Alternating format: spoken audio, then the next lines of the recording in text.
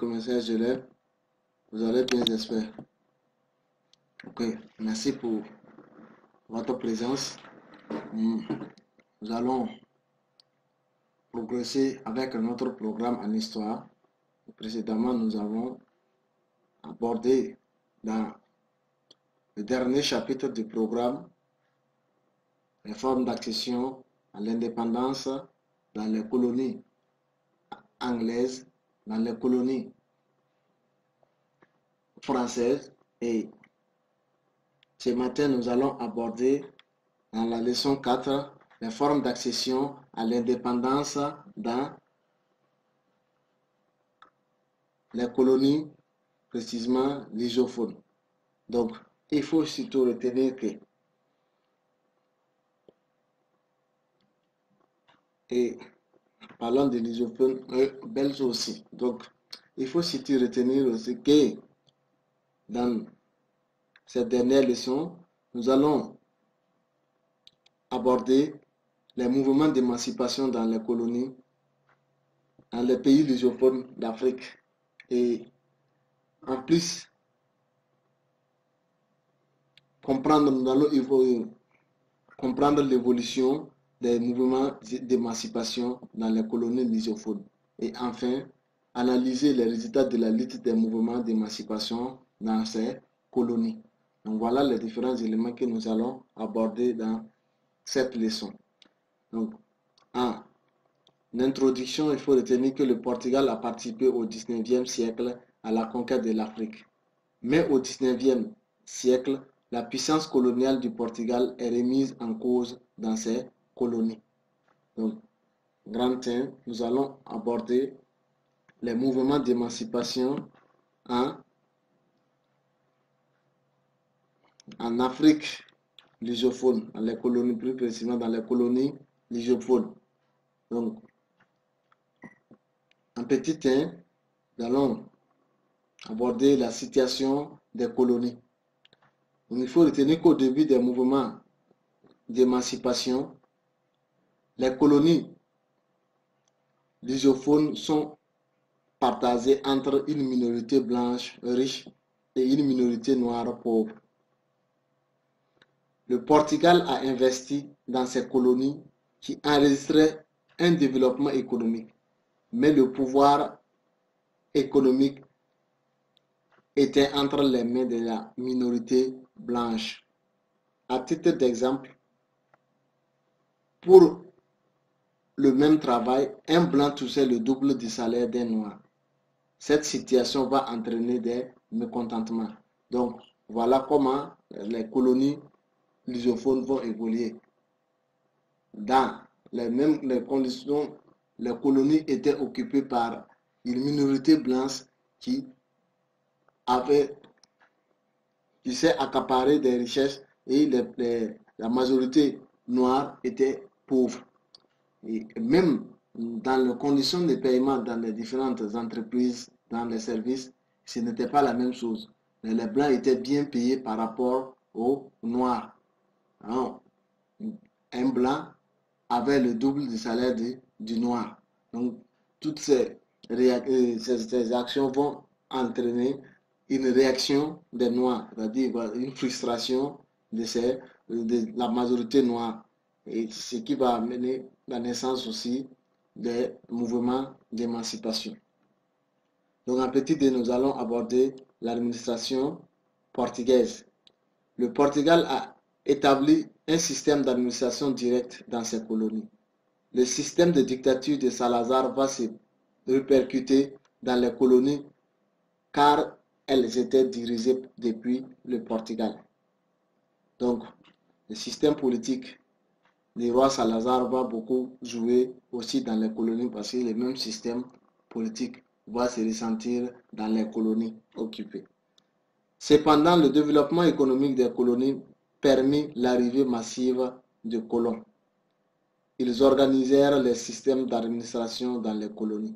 En 1960, on dénombrait environ 200 000 colons dans les colonies portugaises. Donc, un deuxième grand point, nous allons aborder maintenant l'évolution des luttes d'émancipation dans les colonies lysophones. Donc, nous allons voir en petit la lutte de 1960 à 1969. Donc, il faut retenir qu'à partir de 1960, les mouvements de libération organisèrent des luttes armées pour réclamer l'indépendance. Mais le Portugal réagit en envoyant des soldats pour combattre les mouvements de libération. Le Portugal obtient le soutien des, pays occidentaux tels que les États-Unis, la Grande-Bretagne, à qui le Portugal avait accordé le droit d'exploitation, le droit d'exploiter certaines de ses colonies, c'est-à-dire le pétrole. En plus, le Portugal prétend le soutien de l'URSS au mouvement d'émancipation, ce qui va entraîner un soutien massif des pays occidentaux au Portugal. Donc voilà comment les colonies vont évoluer. Avec le soutien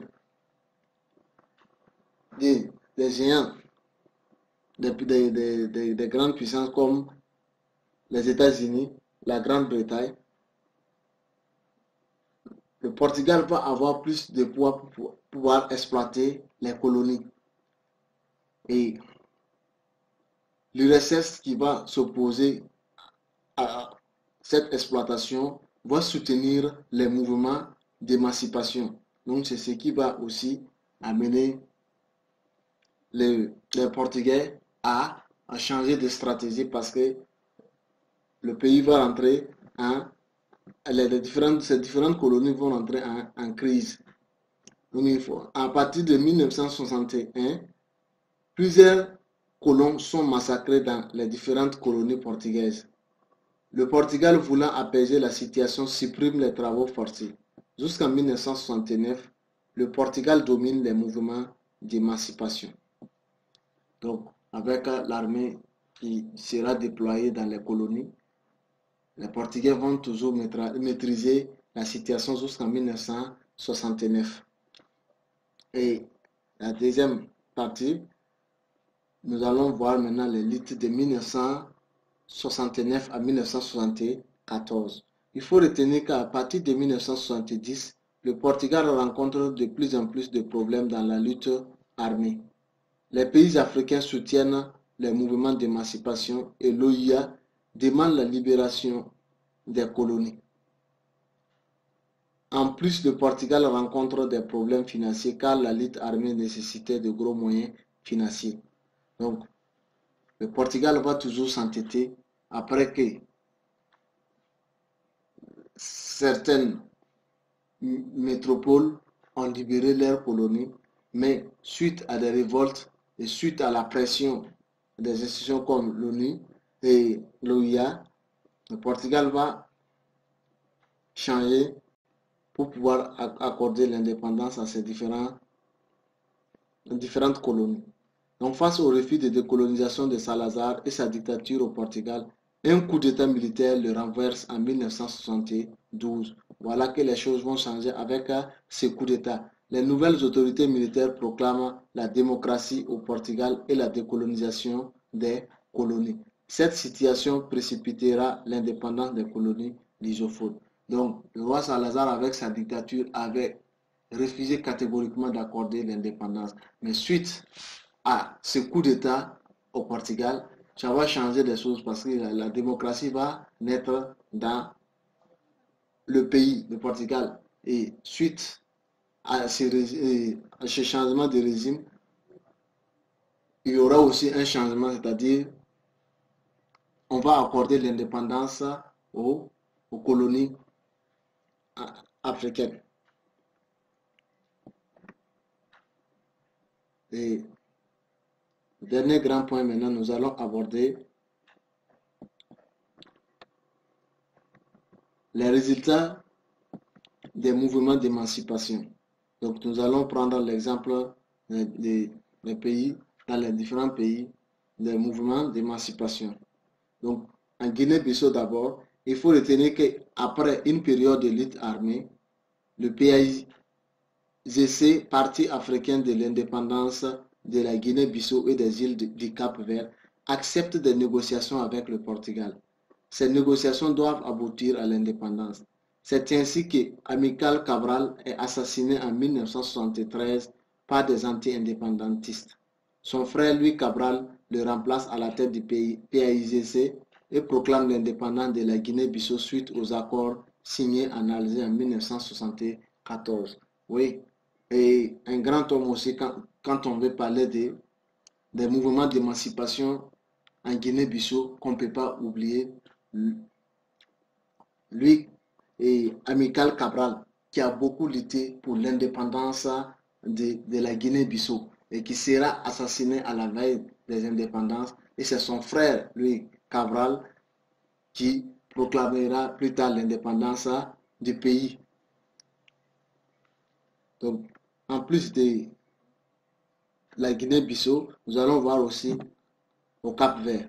Donc, il faut aussi retenir que le Cap Vert va accepter en 1974, lors des négociations d'Alger, une négociation séparée sur son indépendance. Le PAJC menait la lutte. Il était dirigé par Aristide Pereira. Le 30 juin 1974, des élections législatives sont organisées. Le PAJC l'emporte avec 92% des voix. Aristide Pereira devient le président de l'État du Cap Vert. Donc, et en même temps, il va proclamer, c'est avec lui que l'indépendance du pays sera proclamée dans la même année. Donc, en trois, nous allons maintenant aborder l'indépendance et l'évolution de, au Mozambique.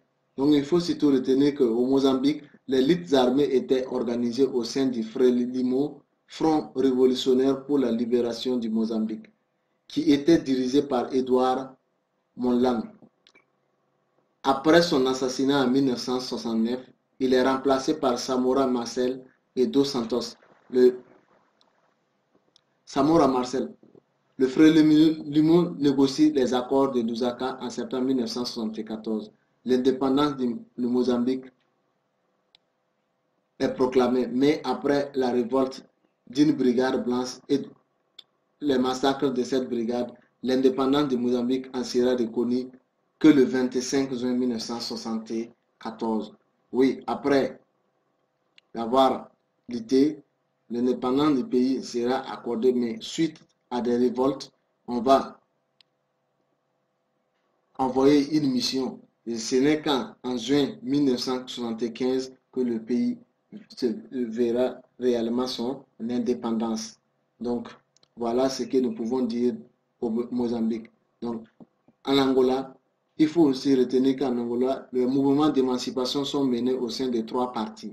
Il y a l'UPNA, l'Union des peuples du nord de l'Angola, dirigé par Holden Roberto, et le MPLA, Mouvement populaire pour la libération de l'Angola, dirigé par Augustino Neto et l'UNITA, Union nationale pour l'indépendance totale de l'Angola, dirigée par Jonas Sawimbi.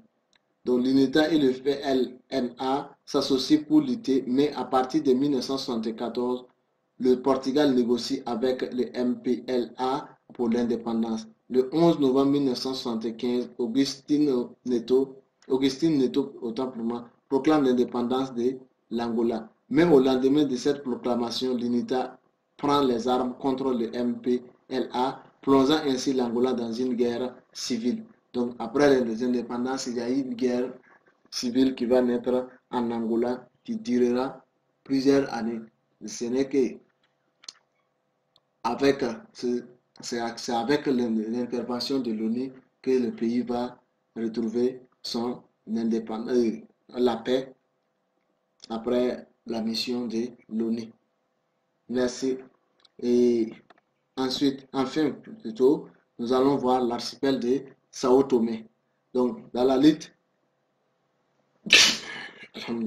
Donc, La lutte armée est menée par le MLSTP, MLSTP Mouvement de libération de Sao Tomé et Principe, dirigé par Manuel Pinto da Costa. il obtient l'indépendance de l'archipel le 12 juillet 1975 et devient son premier président. Donc voilà comme dans l'archipel de Sao Tomé aussi, il y a eu un mouvement de libération de, Sao Tomé et Principe qui était dirigé par Manuel Pinto da Costa. Et c'est lui qui va obtenir l'indépendance de l'archipel le 12 juillet 1975 et il est le premier président de ce pays. En conclusion, il faut retenir que les colonies lusophones ont obtenu leur indépendance après une longue période de conflit contre le Portugal. À partir de 1980, les anciennes colonies lusophones d'Afrique étaient indépendantes. Donc, voilà ce que nous pouvons dire dans cette leçon aussi. Il faut retenir que les colonies lusophones n'ont pas accédé à l'indépendance facilement comme dans les autres colonies aussi. Il y a eu des révoltes et des luttes, une pression extérieure, de ce qui va amener à accorder l'indépendance dans cette partie aussi euh, de l'Afrique. Donc merci pour votre attention et à la prochaine.